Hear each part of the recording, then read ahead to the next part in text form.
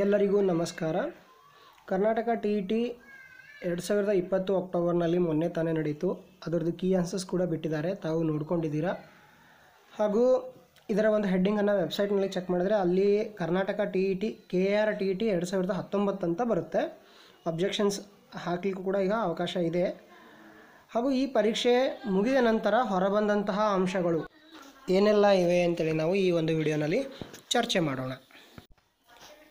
T T ಮತ್ತು C ಟಿಗೆ ಸಂಬಂಧಪಟ್ಟಂತಹ ಮಾಹಿತಿಗಳನ್ನು ಕೊಡುವಂತಹ ನಮ್ಮ ಚಾನಲ್ನಲ್ಲಿರುವ ವಿಡಿಯೋಗಳನ್ನು ವೀಕ್ಷಿಸಿ ಹಾಗೂ ತಾವಿನ್ನೂ ನಮ್ಮ ಚಾನಲನ್ನು ಸಬ್ಸ್ಕ್ರೈಬ್ ಮಾಡಲಿಲ್ಲ ಅಂತಂದರೆ ದಯವಿಟ್ಟು ನಮ್ಮ ಚಾನಲನ್ನು ಸಬ್ಸ್ಕ್ರೈಬ್ ಮಾಡಿ. ಏಕೆಂದರೆ ನಾವು ಮಾಡುವಂತಹ ವಿಡಿಯೋಗಳ ಲೇಟೆಸ್ಟ್ ನೋಟಿಫಿಕೇಷನ್ ತಮಗೆ ಬರುತ್ತೆ. ಎಲ್ಲರಿಗಿಂತ ಮುಂಚೆ ತಾವು ನಮ್ಮ ವಿಡಿಯೋಗಳನ್ನು ವೀಕ್ಷಿಸಬಹುದು. ಈಗ ನಾವು ಒಂದು ನಮ್ಮ ವಿಡಿಯೋವನ್ನು ಪ್ರಾರಂಭ ಮಾಡೋಣ.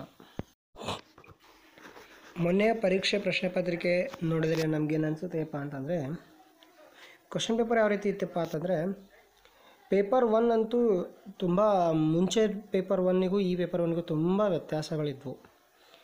ಹೇಗೆಪ್ಪ ಅಂತಂದರೆ, ಭಾಷೆನಲ್ಲಿಯೂ ಕೂಡ ಹಲವಾರು ವ್ಯತ್ಯಾಸಗಳನ್ನು ಮಾಡಿದರು. ಹಾಗೂ ಸೈಕಾಲಜಿನಲ್ಲಿಯೂ ಕೂಡ ಸ್ವಲ್ಪ ಡಿಫ್ರೆಂಟಾಗಿಯೇ ಕ್ವಶನ್ ಪೇಪರ್ ಬಂದಿತ್ತು.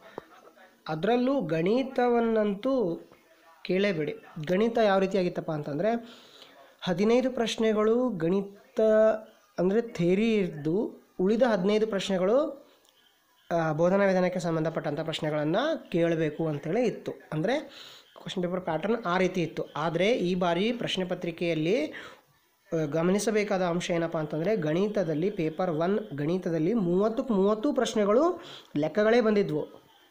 ಈಗ ಎಕ್ಸಾಮ್ನಲ್ಲಿ ಹದಿನೈದು ಪ್ರಶ್ನೆ ಪೆಡವಾಗಿ ಹದಿನೈದು ತೇರಿ ಅಂತಂದರೆ ನಾನು ಬರಿತೀನಿ, ಇಲ್ಲ ಹದಿನೈದು, ನಾನು ಹದಿನೈದು ಲೆಕ್ಕ ಅಷ್ಟೇ ಮಾಡಿ ಉಳಿದಿದ್ದು ಹದಿನೈದು ಮಾಡಲ್ಲ ಅಂತ ಅನ್ನಂಗಿರಲ್ಲ ಅಲ್ಲಿ. ಪೇಪರ್ ಹೆಂಗೆ ಬಂದಿರುತ್ತೆ ಹಂಗಲ್ಲಿ ಮಾಡಲೇಬೇಕು. ಹಲವಾರು ಬಾರಿ ಈ ರೀತಿಯಾಗಿ ಅಲ್ಪ ಸ್ವಲ್ಪ ಚೇಂಜಸ್ ಆಗುವಂತಹ ಸಾಧ್ಯತೆಗಳು ಇರ್ತವೆ. ಇದೇ ಪರೀಕ್ಷೆ ಆಗಿರ್ಬೋದು ಅಥವಾ ಬೇರೆ ಯಾವುದೇ ಪರೀಕ್ಷೆ ಆಗಿರ್ಬೋದು. ಅದಲ್ಲದೆ ಪತ್ರಿಕೆ ಎರಡರ ಪ್ರಶ್ನೆ ಪತ್ರಿಕೆಯನ್ನು ನೋಡಿದರೂ ಸಹ ಪತ್ರಿಕೆ ಎರಡರಲ್ಲಿ ಅದರಲ್ಲಿಯೂ ಸಹ ಕ್ವಶನ್ ಪೇಪರ್ ಪ್ಯಾಟರ್ನ್ ನಾವು ಎಕ್ಸಾಮ್ ಹಾಲಿಗೆ ಹೋಗೋಕ್ಕಿಂತ ಮುಂಚೆ ನಾವು ಅಂದ್ಕೊಂಡಿರ್ತಕ್ಕಂತಹ ಪ್ಯಾಟರ್ನ್ ನಲ್ಲಿ ಸ್ವಲ್ಪ ಬದಲಾವಣೆ ಆಗಿತ್ತು. ಅಂದರೆ ಈ ನಾನು ಈ ಮುಂಚೆ ಈ ಎಕ್ಸಾಮ್ ಬರೆಯೋದಕ್ಕಿಂತ ಮುಂಚೆ ನಾನು ಏನು ವಿಡಿಯೋ ಮಾಡಿದ್ದಲ್ಲ, ಅದೆಲ್ಲ ಹೇಳ್ತಿದ್ದೆ, ಈ ರೀತಿ ಇರುತ್ತೆ, ಈ ರೀತಿ ಇರುತ್ತೆ ಅಂತೇಳಿ. ಯಾಕಪ್ಪ ಅಂತಂದರೆ ಹಿಂದೆ ನಡೆದ ನಾಲ್ಕು ಪ್ರಶ್ನೆ ಪತ್, ನಾಲ್ಕು ಪರೀಕ್ಷೆಗಳ ಆಧಾರದ ಮೇಲೆ ನಾವೆಲ್ಲರೂ ಊಹಿಸಿದ್ವಿ. ನಾವು ಒಬ್ಬರೇ ಅಲ್ಲ, ಎಲ್ಲರೂ ಅದನ್ನೇ ಊಹಿಸ್ಕೊಂಡು ಅದೇ ರೀತಿಯಾಗಿ ಮೆಂಟಲಿ ಪ್ರಿಪೇರ್ ಆಗಿ ಹೋಗಿದ್ವಿ. ಸೊ ಈ ಪ್ರಶ್ನೆ ಪತ್ರಿಕೆಯನ್ನು ಅಬ್ಸರ್ವ್ ಮಾಡಿದ ನಂತರ ನಮಗೆ ತಿಳಿದು ಬರುವಂಥ ಅಂಶಗಳೇನಪ್ಪ ಅಂತಂದರೆ ಟಿ ಇ ಟಿ ಪ್ರಶ್ನೆ ಪತ್ರಿಕೆ ಆಗಿರಲಿ ಅಥವಾ ಮುಂದೆ ಬರುವ ಸಿ ಇ ಟಿ ಪ್ರಶ್ನೆ ಪತ್ರಿಕೆ ಆಗಿರಲಿ ಇನ್ನೂ ಕಠಿಣತೆಯ ಮಟ್ಟ ಹೆಚ್ಚಾಗುವ ಚಾನ್ಸಸ್ ಇದೆ. ಅಂದರೆ T E ಟಿನಲ್ಲಿನೇ specially six to eighth science maths question paper ನೋಡಿದ್ರೆ ಟಿ ಇ ಟಿನಲ್ಲಿನ ಟಿ ಇ ಟಿ ಪ್ರಶ್ನೆ ಪತ್ರಿಕೆ ಬಿಡಿಸ್ತಿರ್ಬೇಕಾದ್ರೆ ಅದು ಹೇಗೆ ಅನಿಸ್ತಿತ್ತಪ್ಪ ಅಂತಂದರೆ ಅದು ಆ ಪ್ರಶ್ನೆ ಪತ್ರಿಕೆ ಟಿ ಇ ಟಿದ್ದಲ್ಲ ಸಿ ಇ ಟಿದ್ದು ಪ್ರಶ್ನೆ ಪತ್ರಿಕೆ ಅಂಥೇಳಿ ಭಾಸವಾಗುವಂತಹ ಪ್ರಶ್ನೆ ಪತ್ರಿಕೆ ಅದಾಗಿತ್ತು. ಅದು ಬರಿತಾ ಇರೋದು ನಾವು ಟಿ ಇ ಟಿ ಅಲ್ಲ ಸಿ ಇ ಟಿ ಅಂತೇಳಿ ಅನಿಸ್ತಾ ಇತ್ತು ಅಷ್ಟು ಪೇಪರ್ ಆ ರೀತಿಯಾಗಿ ಒಂದು ಒಳ್ಳೆಯ ಇದರಲ್ಲಿ ಪ್ರಶ್ನೆ ಪತ್ರಿಕೆ ಇತ್ತು ಅಂದರೆ ಈಗಿನ, ಈಗ ಒಂದು C B S C syllabus ಬಂದಿದೆ ಅಲ್ವಾ? ಹೀಗಾಗಿ ಆಗಿರಬಹುದು ಅಥವಾ ಎಲ್ಲರೂ ಅಪ್ಡೇಟ್ ಆಗ್ತಾ ಇದ್ದಾರೆ. ಸೊ ಹೀಗಾಗಿ ಈ, ಅದೇ, ಅದನ್ನೇ ಹಿಂದುವರಿಸ್ಕೊಂಡು ಅವೇ ಪ್ರಶ್ನೆಗಳನ್ನು ರಿಪೀಟ್ ಮಾಡಬಾರ್ದು ಅಂತನೋ ಏನೋ ಒಂದು ಇದರಿಂದ ಪ್ರಶ್ನೆ ಪತ್ರಿಕೆಯನ್ನು ಸ್ವಲ್ಪ ಚೆನ್ನಾಗಿ ತೆಗೆದಿದ್ದಾರೆ.